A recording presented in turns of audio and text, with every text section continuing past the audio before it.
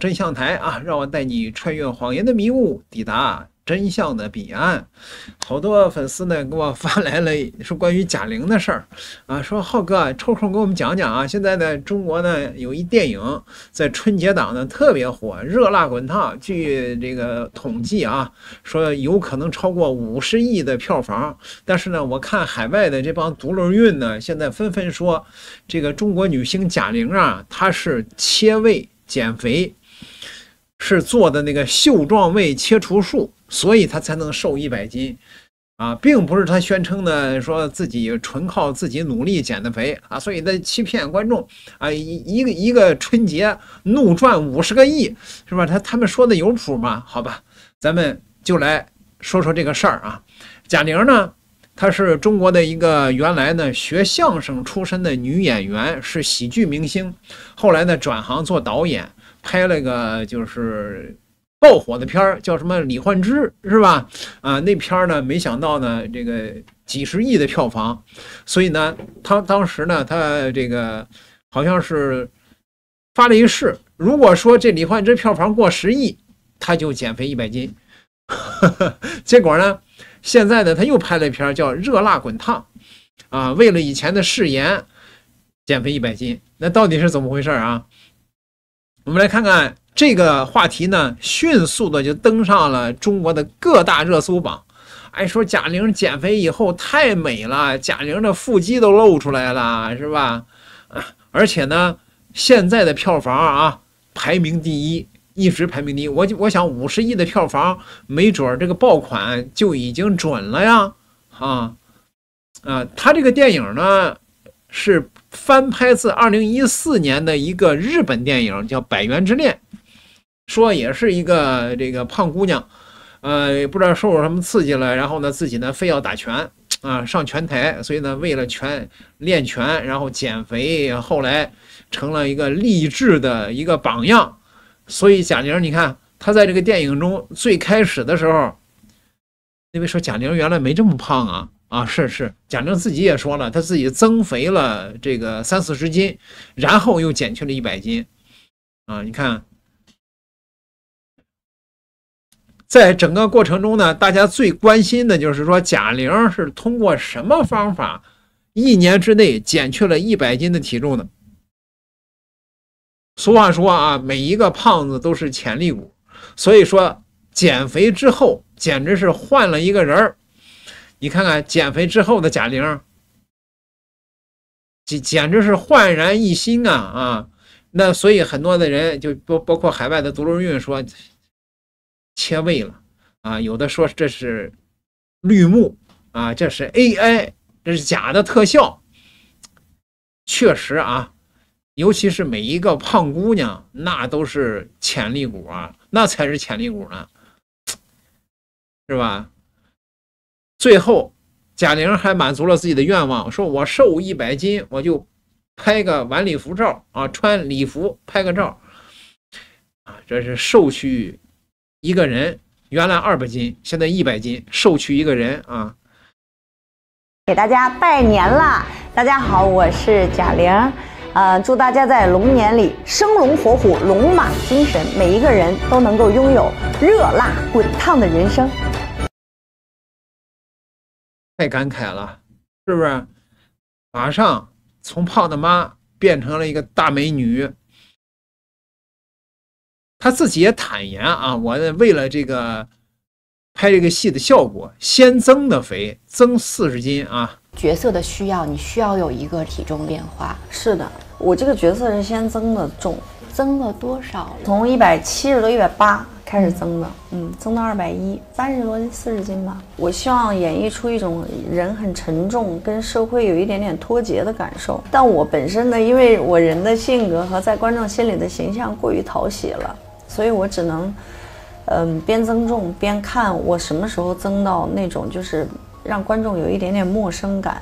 增肥也挺痛苦的，虽然你可以随便吃随便喝，但他的心理压力很大，因为他血糖不够稳定，所以他的情绪就总是波动，总是内耗。但是正好在那个时期，因为在写这个剧本，所以可能反倒更有利于去接近乐莹那个人物吧。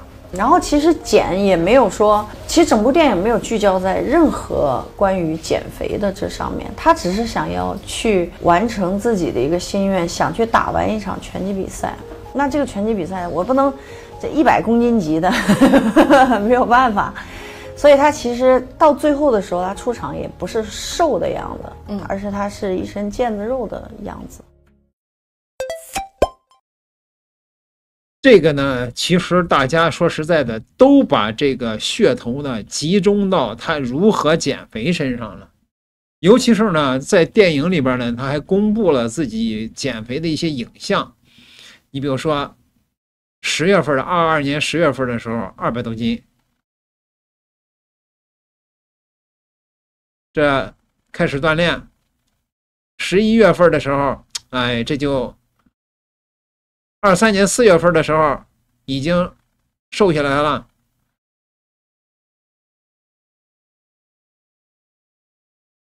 五月份，这是整个的一个过程。六月份，哎，他其实减的呢还是挺健康的。他说呢，他一个月呢就是平均减八到十斤，一年嘛，那不就正好一百斤吗？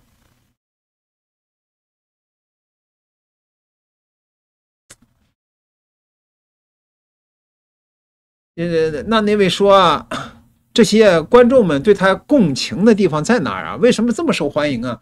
共情的地方就是实现了自己减肥的梦想啊！大家都知道，减肥 是最最不容易坚持的，是吧？好多人想减，减不下去，可是看到电影里边的贾玲，人家从二百多斤啊减到了现在的这个变成了一个大美女，大家都会把自己呢带入到贾玲的角色中去，说她能做到。我也能做到啊，所以呢，大家都会想去看电影里边的贾玲是如何变瘦的。很自豪，因为那天我的亲姐姐在我家看，说这个哎呀，电脑做的痕迹太重了。我说姐，我说你看的后面还挂着绿布呢，你知道我们一起洗澡啊什么的都知道，就是这个电脑做，搞得我当时脱了。我说姐你，气死我了。她说。我姐的意思是，她说她知道我练到了这样，嗯，但是他依然觉得不敢相信。不可思议，确实不可思议。就包括你那要登全台之前那个亮相，然后我就是一直在看说，这个头配这个身子是我印象当中的贾玲吗？真的，大家看看到电影的时候，你会你会明白我们我本身的那种是不可思议我本身后面那个彩蛋一次一次的出场，那个是没有的，你知道吗？啊。是后来因为我做测评的时候质疑的人太多了，电脑做的，电脑做的，我心想啊，不是电脑做的，我才加了后面那个哦我一次一次出场。试拍的时候，对，而且我那哦个试拍根本也不是为了放在彩蛋里，我那个试拍是为了让美术和摄影置景，让镜那个镜头大家知道我要拍一个什么样的镜头。啊，但也碰巧了，刚好记录了你那那几个月每个月不同的变化，一直到真正实拍的时候，就是达到最好的状态，拍的那一条，我真正实拍的时候脱水了，嗯，脱水脱了得有八斤吧。但是我跟你说，这个千万不可取啊！脱水千万不可取。沙溢哥那天脱水能瘦那么多，八斤，那我脱一个。我说我拍完这个这几个镜头以后，我说第二天喝水胖了五斤，那不还有三斤吗？我说沙溢哥能屈能伸呢，是。我说后来我说我这样，我说我观察，这后来两天好像你又在喝水，你再吃盐的话，它就又回来了。嗯嗯，贾玲也很坦诚，说那个上拳台的那个最好的状态是脱了八斤的水，把身上的这个肌肉的线条全得展示出来啊。脱了八斤的水，那就是说，呃，就等于说是极度的啊，然后呢榨干自己的这个水分，然后拍出这样一个镜头，但是这不是常态啊，这不是常态，各位。所以呢，贾玲为了这个电影，确实是努力了，付出了很多。那至于海外的这帮毒瘤运说这贾玲根本就不是自己瘦下去的，她是切胃了，那个做了袖状胃的手术。什么叫袖状胃的手术啊？我还专门为了辟谣，我找了一段这个袖状胃的这个介绍，给大家配上了中文啊，大家看一看 什么叫做袖状胃的手术啊。